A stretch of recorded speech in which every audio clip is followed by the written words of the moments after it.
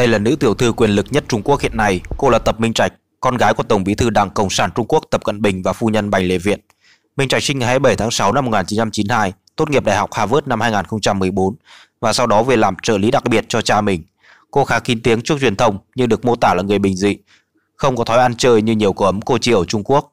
Năm 2013, cô được cho là hẹn hò với con trai chủ tịch tập đoàn Sany, một trong những tập đoàn giàu nhất Trung Quốc.